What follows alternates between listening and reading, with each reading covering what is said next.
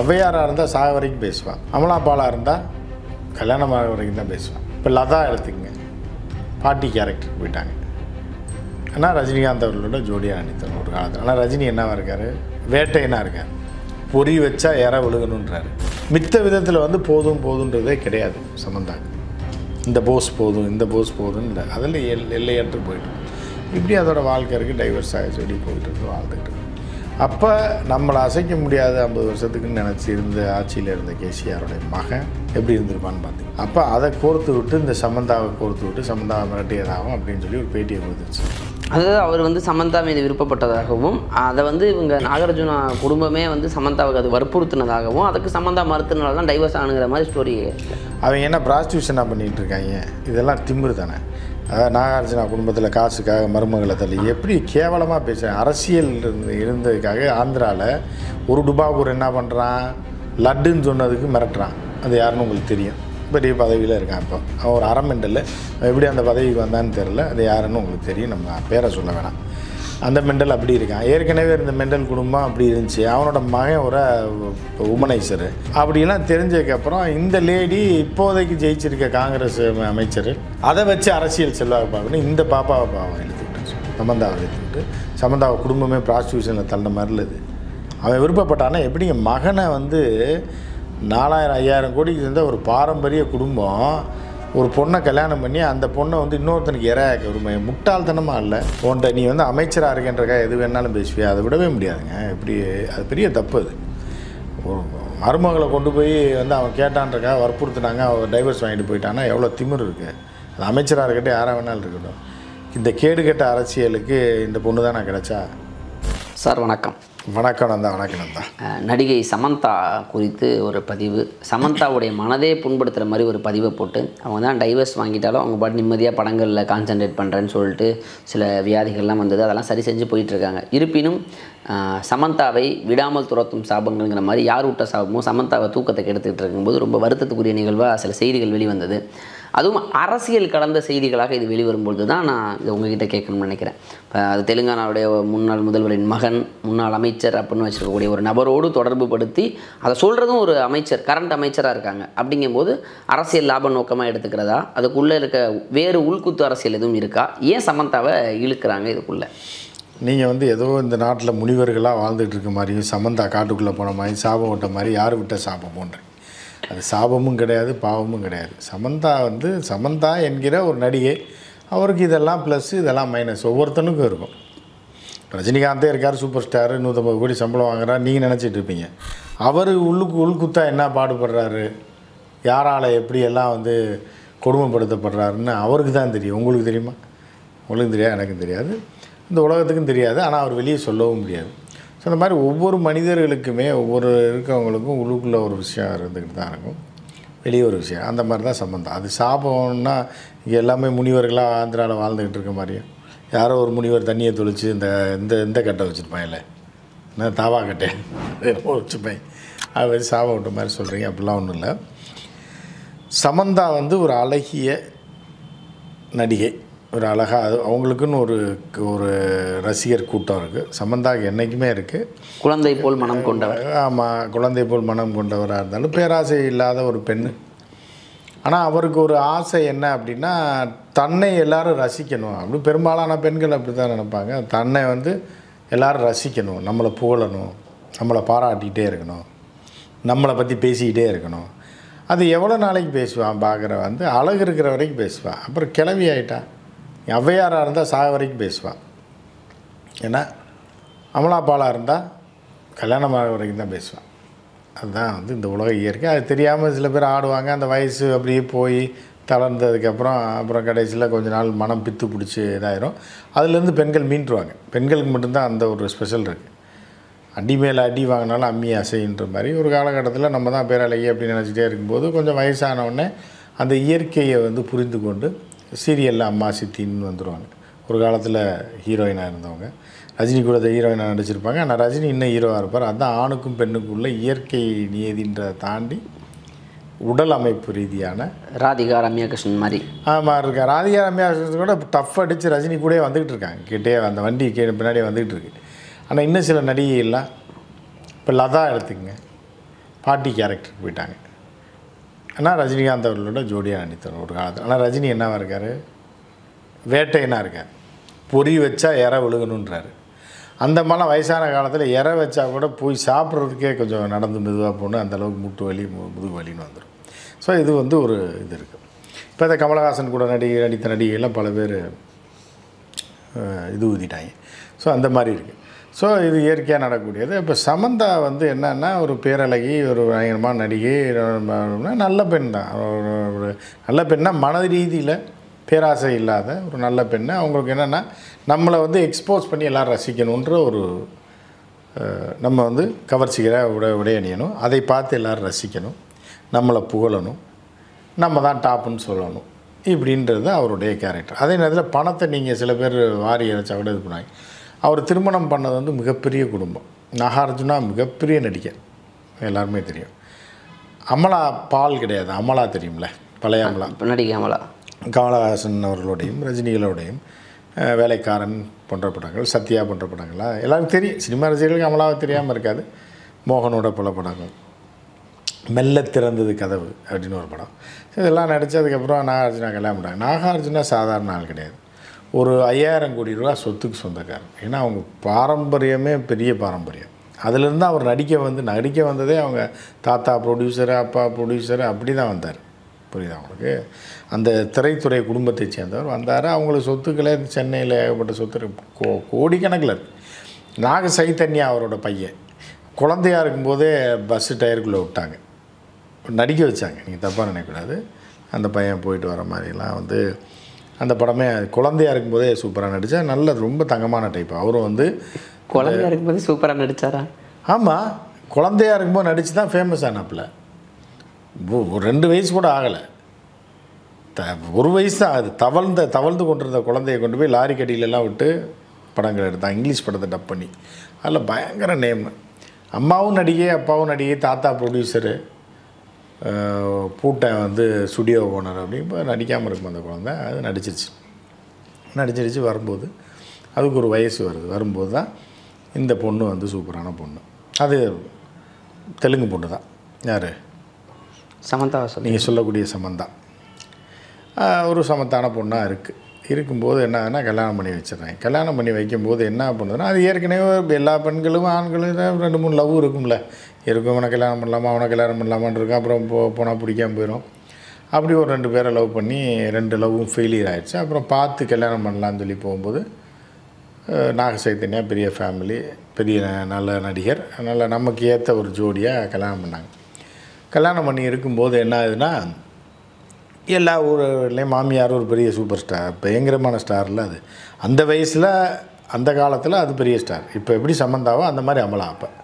ராஜேந்தர் படம் என்ன ரஜினி படம் என்ன கமலஹாசன் கூட எல்லா டாப் ஹீரோடையும் நடித்த ஒரு டாப் ஹீரோயின் அப்படி இருக்கும்போது லேசாக உரசல் வரும்ல. மாமியார் வேறு ரூமில் மா இவங்க இப்போ ஒரு ஃப்ளோரில் இருந்தால் கூட இருந்தாலும் ஏதாவது ஒரு உரசல் வரும்போது என்னன்னா சமந்தா வந்து ஒரு சுதந்திர பறவையாக நம்ம இருக்கணும். அப்படியே? அப்படின்ற மாதிரி ஆகும். ஸோ அப்படி இருக்கும்போது ஏதோ உள்ள முட்டல் முனங்கள் வருது. இதுக்கிடையில் சமந்தாவுக்கு ஒரு தீர்க்க முடியாத ஒரு நோய் வருது. ஸ்கின் டிசீஸ் மாதிரி ஏதோ ஒரு பிரச்சனை வந்து உடம்பு மாறிடுது. ஒரு ஒரு தீவிரமான நோய். அது உலகத்தில் ரொம்ப ரேராக தான் வரும். அதில் ரொம்ப மன உளைச்சலுக்கு ஆளாகி இருந்த போதிலும் நடிச்சுக்கிட்டே இருக்காப்புல. அப்போ நடிக்கணுன்றாப்புல அவங்க குடும்பத்தில் நடிக்கக்கூடாதுன்றாங்க. கல்யாணம் ஆயிடுச்சு அப்படியே இருந்துரு போதும்னு. பணம் தான் இருக்குது படம் ப்ரொடியூஸ் பண்ணலாண்டா இந்த மாதிரி இருக்கும்போது அதில் சில முட்டல் முனங்கள் வருது. ஆனால் நாக சைத்தன்யா வந்து ரொம்ப நேசிக்கிறாப்புல. யாரை? சமந்தாவை. போகக்கூடாதுன்றாப்புல. இருந்தாலும் போயிடுது அப்புறம் ரெண்டு பேரும் பேசி இல்லை உனக்கு இது ஒத்து வராது. எனக்கு இது ஒத்து வராதுன்னு பிரிஞ்சிடுறாங்க. அப்போ வந்து அவர் எந்த வித இப்போ இப்போ நீங்கள் தமிழ் திரைப்படத்தில் பார்த்தீங்கன்னா சில பல நடிகைகள் காசு ஆட்டையை போடுறதுக்குன்னே அவனையா பிடிப்பாங்க. அது ஒரு சூப்பர் நடிகர் முதற்கொண்டு அந்த காலத்தில் முதற்கொண்டு அப்படியே பேட்டி எடுக்கிற மாதிரி வருவாங்க. பெண் ரிப்போர்ட்டரை கல்லூரி மாணவி அப்படின்ற போர்வையில் உள்ள நுழைவாங்க. அந்த வடிவேல் பருவம் மறு வச்சுருப்பான் பாருங்கள் ஒரு ஒரு இதில் கொண்டை வச்சு ஆனால் கொண்டை மறக்க முடியாது. ஒரு இதில் மறு வச்சுட்டு வருவான் ஒரு இதில் பல்லில் பெயிண்ட்டு கரையை பூசிட்டு வருவான். ஆனால் வடிவேல் தான். அந்த மாதிரி சில பேர் என்னென்னா பிரபலம் ஆகக்கூடியவங்களுக்கு டார்கெட் போடுவாங்க. போட்டு எப்படியாவது இவனை மயக்கி விழுது விட்டுட்டோம்னா ஈஸியாக பணக்காரன் ஆயிடலாம்ல. புரியுதா? அந்த மாதிரி பலரும் இது பண்ணக்கூடிய இந்த ஃபீல்டில் உன் காசு வேணாம் எதுவும் வேண்டாம். நீ நம்ம ரெண்டு பேரும் மனம் ஒத்து திருமணம் பண்ணால் நம்ம ரெண்டு பேரும் பிரிய போகிறோம் நீ காசு கொடுத்தா நான் இது பண்ண முடியாது. என்கிட்டயும் காசு இருக்குது என்னோடய வாழ்வியலுக்கு இப்படி இப்படி மனம் வந்து பெண்களுக்கு அதுவும் திரைப்பட நடிகைகளுக்குல பலருக்கு வராது. ஆட்டையை போட்டணும் தான் பார்ப்பாங்க. சொத்தை வேணும் இதை பண்ணணும் ஃப்ளைட்டில் போகணும் ஹெலிகாப்டரில் போகணும்னு விரும்புவாளுங்க. ஆனால் இந்த பொண்ணு வந்து அதெல்லாம் இல்லாமல் உன் பணம் வேணாம். இந்த பொண்ணுகிட்டே ஒரு ஐம்பது கோடி நூறு கோடி இருக்கும். நூறு கோடி ரூபாய் வச்சுருவோம். எப்படி சொத்துக்கிட்டு அதுன்னு போதும்னு எனக்கு உடம்பு சரியில்லை ட்ரீட்மெண்ட் எடுத்தால் கூட பெருசாக ஆகாது அப்படின்ட்டு ஒரு போதுமென்ற மனமே பொன் செய் மருந்துன்றது புரிந்து கொண்டால் இதில் பண விஷயத்தில் மட்டும். மித்த விதத்தில் வந்து போதும் போதுன்றதே கிடையாது சமந்தாக்கு. இந்த போஸ் போதும் இந்த போஸ் போதும்னு இல்லை. அதில் எல் எல்லையற்று போயிட்டுருக்கு இப்படி அதோடய வாழ்க்கை இருக்குது டைவர்ஸ் ஆகிடுச்சு இப்படி போயிட்டுருக்கு வாழ்ந்துகிட்டு இருக்கு. வாழ்ந்துகிட்டு இருக்கும்போது பல படங்களில் நடிச்சிட்ருக்கு சில படங்களில் டாப்லெஸ்ஸாக எல்லாம் நடித்தாப்புல சில இதில் சில பாகங்களை தவிர எல்லா பாகத்தையும் காட்டிலாம் இருந்துச்சு அது அதுக்கு ஒரு பேஷன் அதுக்கு ஒரு ஆசை இப்படி இருக்கணும். ஆனால் பணம்லாம் வேண்டாம். பணத்துக்கான அடிமையான ஆள் கிடையாது. அப்படின்னு நீ சொல்லிடவே முடியாது. ஒரு குழந்தை மாதிரி. எப்போதுமே ஒரு குழந்தை போலே இருக்கணும் அப்படின்னு நினைக்கும்போது உடையும் குறைஞ்சிரும்ல. நீங்கள் ஒரு இளங்கியாக நீங்கள் வாழணும். வயதுக்கு வந்த பெண்ணாக திருமணமான பெண்ணாக வாழணும்னா அதுக்குரிய உடைகள்லாம் இருக்குது குழந்தையாக வாழணும்னு நினைக்கும்போது போர்வை போட்டு பொத்திட்டு இருந்தீங்கன்னா குழந்தையாக நினைக்கும் குழந்தை என்ன போர்வை போட்டால் பொத்திட்டு இருக்கோம்? அது எப்படி இருக்குமோ அது அந்த ஒரு குழந்தை மனம் கொண்ட வந்து அந்த குழந்தையாகவே தன்னுடைய வாழ்க்கையை போயிட்டு இருக்காங்க. இதுக்கிடையிலாம் சனியனா அரசியல் ரீதியாக ஏன்னா பெரிய குடும்பம்ல ஒரு அமைச்சர் தெலுங்கானாவில் அது அரசியல் பண்ணுறதுக்கு என்ன பண்ணிடுது? ஏற்கனவே கேசிஆர் இருந்தார் சந்திரசேகர ராவுன்னு சொல்லி அவருடைய எண்ணம் என்ன அப்படின்னு பார்த்தீங்கன்னா இனி இந்த தெலுங்கானாவுக்கு சுதந்திரம் வாங்கி கொடுத்துட்டோம். தனி தெலுங்கானா மாநிலம் வாங்கி கொடுத்தே நம்ம தான். இந்த ஜென்மத்தில் நம்மளை அழிக்க முடியாது. நம்ம மன்னர் மாதிரி. நம்ம மக வந்து ராணி மகன் வந்து ராஜான்ற ரேஞ்சில் வாழ்ந்துட்டு இருக்கும்போது டோட்டலாக காற்றை பிடிங்கி விட்டு தெருவில் விட்டாங்க அவரை. பத்து வருஷம். ரெண்டு டைம் தான் ஓட்டு போட்டாங்க. மூணாவது டைமு இது கொள்ளக்கார குடும்பம். இவங்க இதை நான் வந்து தனி தெலுங்கானா வாங்கி தந்தேன் வாங்கி தந்தேன்னு சொல்லி ஏகப்பட்ட காசை கொள்ளையை அடிச்சிட்டாங்க. இந்த நாட்டை நாசமாயிட்டான் வளர்ச்சியை தடுத்துட்டான். இவனை தூக்கி எறியன்னு சொல்லி கேசிஆரை தூக்கி எறிஞ்சிட்டாங்க. அப்போ நம்மளை அசைக்க முடியாத ஐம்பது வருஷத்துக்குன்னு நினச்சி இருந்த ஆட்சியில் இருந்த கேசிஆருடைய மகன் எப்படி இருந்திருப்பான்னு பார்த்துங்க அப்போ அதை கோர்த்து விட்டு இந்த சமந்தாவை கோர்த்து விட்டு சமந்தாவை மிரட்டியதாகும் அப்படின்னு சொல்லி ஒரு பேட்டியை கொடுத்துருச்சு அதாவது அவர் வந்து சமந்தா மீது விருப்பப்பட்டதாகவும் அதை வந்து இவங்க நாகார்ஜுனா குடும்பமே வந்து சமந்தாவுக்கு அது வற்புறுத்தினதாகவும் அதுக்கு சமந்தா மறுத்தனால தான் டைவர்ஸ் ஆனுங்கிற மாதிரி ஸ்டோரி அவங்க என்ன ப்ராஸ்டியூஷனாக பண்ணிகிட்டு இருக்காங்க? இதெல்லாம் திமிரு தானே. அதாவது நாகார்ஜுனா குடும்பத்தில் காசுக்காக மருமகளை தள்ளி எப்படி கேவலமாக பேசுகிறேன் அரசியல் இருந்து இருந்ததுக்காக ஆந்திராவில் ஒரு டுபாகூர் என்ன பண்ணுறான் லட்டுன்னு சொன்னதுக்கு மிரட்டுறான். அது யாருன்னு உங்களுக்கு தெரியும். பெரிய பதவியில் இருக்கான் இப்போ. அவன் ஒரு அறமெண்டல் எப்படி அந்த பதவிக்கு வந்தான்னு தெரில அது யாருன்னு உங்களுக்கு தெரியும். நம்ம பேரை சொல்ல வேணாம். அந்த மெண்டல் அப்படி இருக்கான். ஏற்கனவே இருந்த மெண்டல் குடும்பம் அப்படி இருந்துச்சு. அவனோட மகன் ஒரு இப்போ உமனைசரு. அப்படிலாம் தெரிஞ்சதுக்கப்புறம் இந்த லேடி இப்போதைக்கு ஜெயிச்சிருக்க காங்கிரஸ் அமைச்சர் அதை வச்சு அரசியல் செல்வாக்கு பார்க்கணும். இந்த பாப்பாவை பாவம் இழுத்து விட்டுச்சு சமந்தாவை இழுத்து விட்டு. சமந்தாவை குடும்பமே ப்ராஸ்டியூஷனில் தள்ள மாதிரி இது. அவன் விருப்பப்பட்டானா எப்படிங்க? மகனை வந்து நாலாயிரம் ஐயாயிரம் கோடிக்கு இருந்த ஒரு பாரம்பரிய குடும்பம் ஒரு பொண்ணை கல்யாணம் பண்ணி அந்த பொண்ணை வந்து இன்னொருத்தனுக்கு இரையாக்க விரும்ப முட்டாள்தனமாக இல்லை? உன்ட்ட நீ வந்து அமைச்சராக இருக்கேன்றக்கா எது வேணாலும் பேசுவியா? அதை விடவே முடியாதுங்க. எப்படி அது பெரிய தப்பு அது. ஒரு மருமகளை கொண்டு போய் வந்து அவன் கேட்டான்றக்கா வற்புறுத்தினாங்க. அவன் டைவர்ஸ் வாங்கிட்டு போயிட்டான்னா எவ்வளோ திமிர் இருக்குது அது அமைச்சராக இருக்கட்டும் யாராக வேணாலும் இருக்கட்டும். இந்த கேடு கெட்ட அரசியலுக்கு இந்த பொண்ணு நான் கிடச்சா? இல்லை நாகார்ஜுன குடும்பம் கிடச்சா எவ்வளோ பெரிய குடும்பம் அது? அவங்களுக்குள்ள மனமுறிவு ஏதோ பிரச்சனை அது குடும்ப பிரச்சனை. அந்த பொண்ணும் டைவர்ஸ் வாங்கிட்டு போகிறா நாக சைத்தன்யாவும் சைவர்ஸ் வாங்கிட்டு போகிறாப்புல இந்த பொண்ணுக்கு உடம்பு சரியில்லாமல் கூட நாக சைத்தன்யா சொல்கிறப்ப நான் உன்னை பார்க்க தயாராக இருக்கேன். டைவர்ஸ் ஆனதுக்கப்புறம் கூட சொல்கிறாப்புல நான் வந்து இருந்து உன்னை பார்க்குறேன். நீ விருப்பப்பட்டான்னு இல்லை வேண்டாம் நான் பார்த்துக்கிறேன்டா. அந்த மாதிரியான அவங்க ரெண்டு பேரும் ஏதோ மனமுறிவு ஏற்பட்டுச்சே தவிர ரெண்டு பேரும் ரொம்ப டீசெண்டானவங்க சின்ன பிள்ளைகளாக சின்ன பசங்களாக இருந்தாலும். ஸோ இவ வந்து யாரோ ஒரு அமைச்சர் வந்து தன்னுடைய அரசியல் லாபத்துக்காக அந்த குடும்பத்தையும் இவளுக்கு ஏதோ அந்த குடும்பத்தை பிடிக்கல போல். புரியுதா? இவங்களுக்கு கேசிஆர் குடும்பத்துக்கும் இவங்களுக்கும் உள்ள சண்டையை இந்த குடும்பத்தை விற்று நடுத்தருவில் விட்டுருக்கா. இது எவ்வளோ கேடு கெட்ட கேவலமான அரசியல் பாருங்க. ஒருத்தர் லட்டுக்கு அரசியல் பண்ணான் லட்டுன்னு சொன்னதுக்கு அதுக்கு வந்து இது பண்ணுறான் ஒருத்தங்க வந்து ஒரு யூடியூப் சேனல் மேலே இங்கேருந்து அங்கே போய் புகார் கொடுக்குறான். ஏன்னா இப்படிலாம் இது எல்லாத்துக்குமே எல்லா for every action there should be a equal and opposite reaction கட்டாயம் வந்தே ஆகணும். இந்த இந்த துபாகூர்கள் பூரா ஒரு நாள் அடித்து துரத்தப்படுவான் தமிழ்நாட்டில். அங்கேயும் இந்த கேடு கட்டவங்க பிஸ்னஸ் பண்ணணும்ல அதுக்கு இவங்களையும் அவங்களையும் சொல்ல முடியாது. இவங்களும் மன்னிப்பு கேட்குறான்ல காசுக்காக பீதிங்கிறான்ல. அப்புறம் இவனே என்ன சொல்கிறது நான் என்ன சொன்னேன்ல கேட்கணும் லட்டுன்னு அவங்க கேட்டாங்க. நோ கமெண்ட்ஸ்னு சொன்னேன். இது கூட சொல்லக்கூடாதா? நான் என்ன சொன்னேன் உன்கிட்ட? ஆந்திரா தானே படம் விட மாட்டேன் வா நீ பார்த்துக்கலாம் நீ தமிழ்நாட்டுக்கு வா பார்த்துக்கலான்னு சொல்லணும்ல? அவனுக்கு சொத்து பூரா தமிழ்நாட்டில் இருக்குது புரியுதா அவங்களுக்கு அந்த தம்பி படித்தது பூரா தமிழ்நாட்டில். தமிழ் பக்காவாக தெலுங்கை விட தமிழ் சூப்பராக பேசுவாப்புல. யார் அந்த தம்பின்னு உங்களுக்கு தெரியும்? அரசியலில் பெரிய புல்டாக் அவர். அந்த புல்டாக் சொத்து பூரா இங்கே தானே இருக்குது ஓட ஓட வரட்ட வேணாம். நீ வா இங்கே வா பார்த்துக்கலான்னு பெரிய பதவியில் வேறு இருக்காரு சார் பெரிய பதவியில் இப்போ இருக்கட்டும். என்னைக்கு எவ்வளோ நாளைக்கு பெரிய பதவியில் இருந்துருவார் அவர்? நாலு வருஷம். அவ்வளோதான் நாலு வருஷம் இருக்கோ இல்லையோ அங்கே மேலே கலைஞ்சுன்னா இங்கே தூக்கி விட்ருவான் இல்லை? ஸோ வந்து இப்போ நீ வந்து அசால்ட்டாக மிரட்டுவ அது- இவங்க மேலே தப்பு. மன்னிப்பு கேட்டது. எதுக்கு போய் நீ ஒன்றுமே செய்யாமல் எதுக்கு ஏன் மன்னிப்பு கேட்குற நீ? அந்த படம் ஓடி பண்ணி கோடி கணக்கில் சம்பாரிச்சிட்டியா? என்ன பண்ணீங்க? ஒரு கோடி ரூபா கூட கலெக்ஷன் ஆகிருக்காது அந்த படம். எதுக்கு போய் மன்னிப்பு கேட்குறீங்க ஏன்னா நீ மன்னிப்பு கேட்காம இருந்தானே தமிழ்நாட்டே பின்னாடி நின்றுருக்கும் ஏன்னா எவனோ ஒருத்தன் லூஸு என்னத்தையோ கேட்குறான்றக்கா அவனை தூக்கி சரி சோட்டா கழட்டி அடிக்காமல் அவனை பேட்டி கொடுத்து அவனை நார் அடிக்காமல் இவன் வந்து பண்ணிக்கிட்டு இருக்காங்க ஸோ இந்த மாதிரி அங்கே ஆந்திரா அரசியல் இதுதான். தெலுங்கானா அரசியல் இப்படி தான் போயிட்டுருக்கு. ஏன்னா இப்படி இருக்கும்போது என்ன பண்ணுறது இந்த மாதிரி அந்த நடிகையை வந்து இப்போ நடிகைனா என்ன வேணாலும் பண்ணலாம் அப்படின்ற மாதிரி. அது அதோட இஷ்டம். அதாவது இப்போ நீங்கள் வந்து அந்த பொண்ணு நான் நிர்வாண படத்தில் நடிக்கலை. அதுக்கு விருப்பம் சட்டத்தில் இடம் இருந்தால் நடிக்கலாம். சட்டத்துலேயும் இடம் இருந்து இது விருப்பப்பட்டால் நடிக்கலாம். யார் வேணாலும் நடிக்கலாம். அப்படிலாம் ஒரு கவர்ச்சி நடிகையாக இருக்குது அதுக்காக வந்து போட்டு இப்படி வந்து ஒரு குடும்பத்தையே கேவலப்படுத்துகிற மாதிரி அவன் ஒரு தன்னோட மகனுக்கு ஒரு பொண்ணை கட்டி அதை கொண்டு போய் ப்ராஸ்டியூஷனில் தள்ளுற மாதிரிலாம் இருக்கும். அதனால் ப்ராஸ்டியூட் குடும்பமா அது? நாகார்ஜுனா குடும்பம். அவன் எத்தனை கோடீஸ்வரங்க. சினிமா வளர்த்து விட்டதே ஒரு ஒரு பார்ட் அவங்க தான் இருக்காங்க. போய் வாய்க்கு வந்ததெல்லாம் பேசி அவங்க மேலே கம்ப்ளைண்ட் கொடுத்து எல்லாமே போயிட்டுருக்கு.